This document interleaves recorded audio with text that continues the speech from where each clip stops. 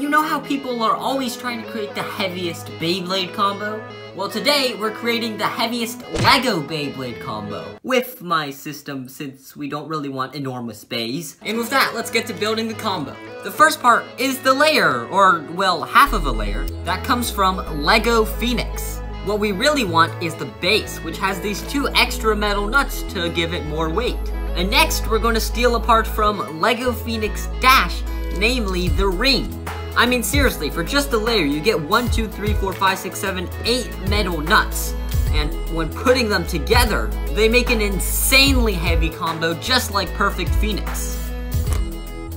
23.58 grams, that's definitely the heaviest layer. Our next part comes from LEGO Excalibur, which is known to be decently heavy, and what we're looking for is the weight strike. The reason it's so heavy is because most of the weight lies on one side, which matches the sword of Excalibur. And to compensate for this unbalance, quite a lot of metal is added. It weighs 27.19 grams, which isn't actually too much considering something like Nova weighs 24.03 grams. After that is the frame, which while pretty light, still has an impact on the weight of the bag. While you might expect a large frame like thick, or a frame with metal like Annihilate, the heaviest bay actually comes on a release of LEGO Random Booster number 5 with Change Meteor on Hell Helios. Utilizing the weight of a real frame and two layers of LEGO, this actually has a lot of plastic involved, at 5.79 grams. And yes, while there are heavier frames than Meteor, it's the heaviest one I have, so we're just gonna roll with it. For the last part, we have the driver, which is of course going to have metal on it. But which one of these drivers will it be? Technically, Massive Plus from LEGO Kerbeus Dash weighs the most at 5.3 grams. But the only problem is that, well, its metal ring doesn't let it fit uh, into the frame. So instead, we're going to use Charge, which is only slightly lighter. And with that, we have our heaviest combo. Perfect LEGO Phoenix, Strike, Change Meteor, Charge. And now the final weight.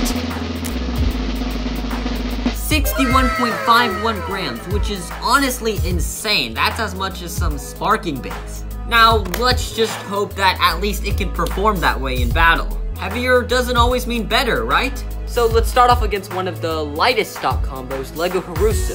One, that it. Two, one, that it. Oh my goodness, you're just getting bullied not good. Three, two, one, let it. Oh my goodness!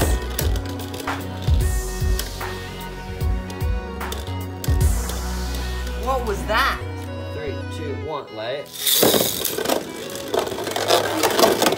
Oh. And that's what happens when you're too heavy. Well, even though the Phoenix armor is pretty heavy, it could definitely use some improvement when it comes to performance. If you want more videos like this, be sure to tell me in the comments below. Um, and I'll see you guys next time. LEGO Bays, out.